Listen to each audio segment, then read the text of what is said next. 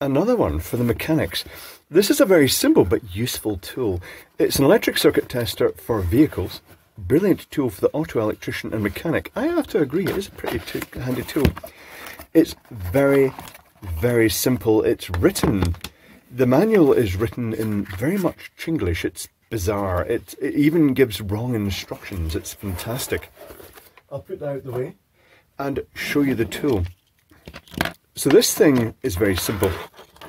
It lets you connect to the car battery and then you can probe out electrical connections. Well, I'll show you. Let's uh, power up. It's got a very long lead, but that's because it's designed to wander about all over the engine compartment and indeed to the other end of your vehicle.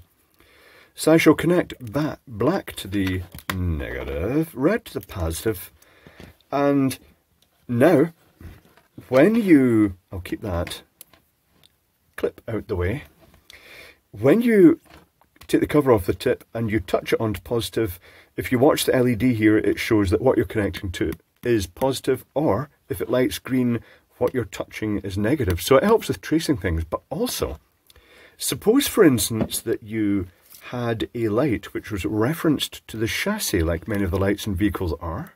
That's chassis if you're American, chassis if you're British or indeed uh, French, which is where the word comes from.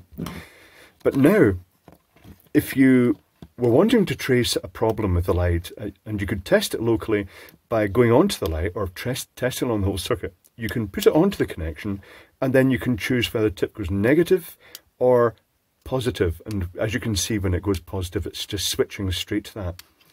Now, if you were to put it onto the negative connection, and then you're to switch to positive, uh, the power supply is limited current, but what would actually happen in a vehicle with unlimited current from the battery is it would trip internal protection and it would also sound an alarm to let you know that something had tripped. Auto reset trip. Okay, that's more or less it. I think it's time to open this up. This incidentally is a little portable camping type light. It's just LEDs and resistors, nothing fancy. It's a, a 12 volt light. I've never made a video about it, I don't think. Not really much to make a video about. Shall get these clips out of the way. Now you might think the red and green LED is going to be super simple. You'd think maybe you could use a resistor and an LED from the positive to the tip and then another one from the negative to the tip. But in that instance, both the LEDs would be lit all the time and it wasn't connected to anything. It's quite clever how they do this. I'm looking forward to uh, reverse engineer to see how they actually do that. So if I pop the cover off this, thanks to Phil for the uh, screwdriver he gave me it a while ago, it's hand machined, not available commercially custom machined just for me.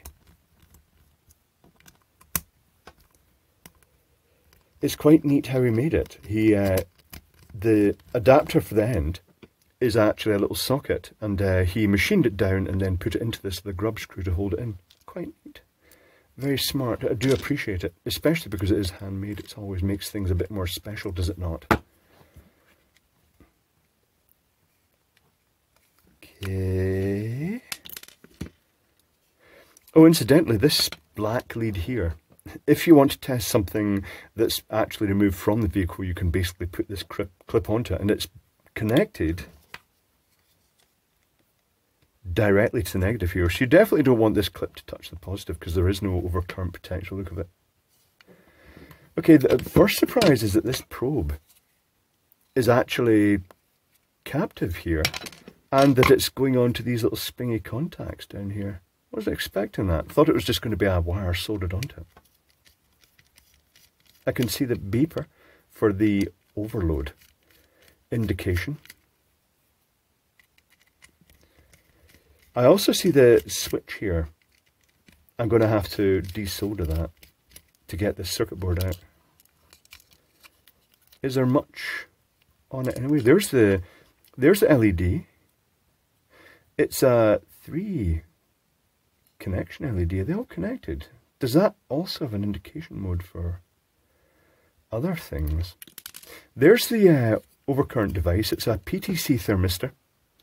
A PTC thermistor is basically a thermistor, temperature sensitive resistor that is designed to, it, initially it has a low resistance, so it allows current to flow through it without any problem. But as soon as the current reaches a certain level, it causes heat up. And when it heats up, it self-heats itself and its resistance goes up. Uh, and it just basically goes into a high resistance state. There's anything else under there? There's not. There's really not much in here. There's a bridge rectifier. There's a transistor. There's some resistors. And the LED. Okay, right. Tell you what, I shall pop this out. I'll take a picture of it so we can reverse engineer it. One moment, please.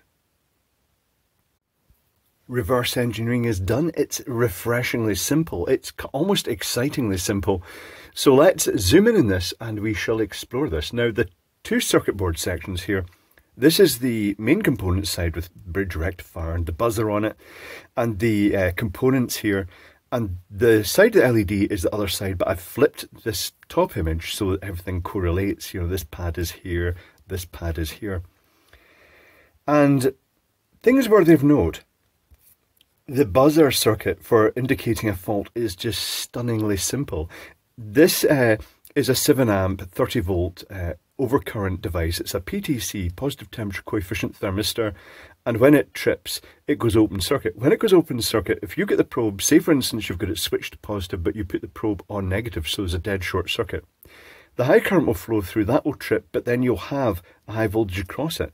That high voltage, well the 12 volts, gets rectified so that no matter which polarity, whether you had it switched positive or negative, uh, it gets rectified and it goes to the buzzer. That's it. So that as long as the probe is held on and there was a short circuit and that goes open circuit, then it, the buzzer will sound to show that, you know, there was a short circuit. And a protection tripped. The LED is actually an RGB LED with the six pins, kind of like a video wall LED. I suppose it's just the cheapest way to do it. And their arrangement, the resistors, is quite odd. Uh, there's not really much to show in this. Let's cut straight to the schematic. And there is an anomaly. I'll let you chime in on this. Tell me what you think. So, zooming up. Here's the crocodile clips or alligator clips that go onto the uh, vehicle battery. Oh, something I should mention. One thing you shouldn't do with this probe is probe low voltage stuff like sensors that are expecting 5 volts back to the engine management system, you definitely don't want to stick 12 volts in that. I just thought I'd mention that. Be careful what you're probing. It's mainly for the sort of 12 volt side of the vehicle. Um, so here's a 12 volt rail coming in those clips. There's a little auxiliary clip, this little clip, which is designed to allow you to test things when they're out the vehicle. Things that would normally be grounded to the chassis, or the chassis, as you might say in America. Um, so that's just connected straight to the negative. There's a switch that can toggle between off and either positive or negative for the probe.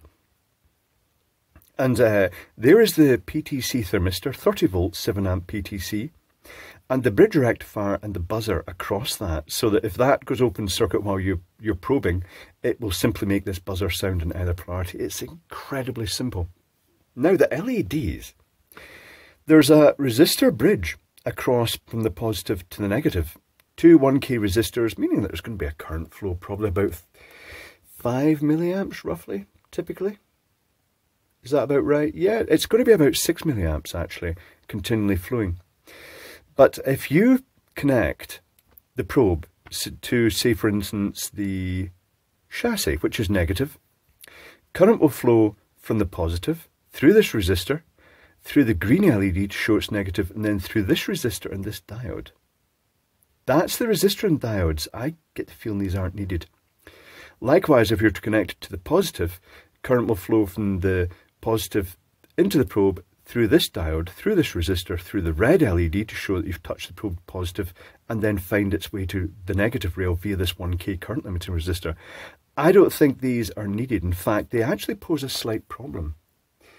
Uh, if the LEDs were just bridged in parallel, then the voltage across them can't uh, the reverse voltage can't exceed the forward voltage of the other LED, so it's going to protect the other LED. It's a bit like those bipolar, bicolor LEDs with just two leads.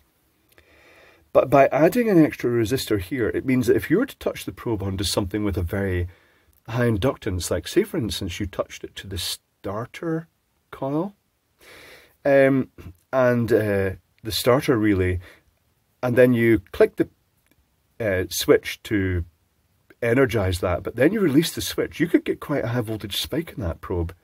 And normally that would be clamped across, it would go through the LEDs and their appropriate resistor, and it would result in a sudden current spike, but it should, the LED would clamp that. However, if the current spike was high enough, it could create a high enough voltage across uh, these that it would pose a slight risk of overvolting the other LED with the leakage through the diode.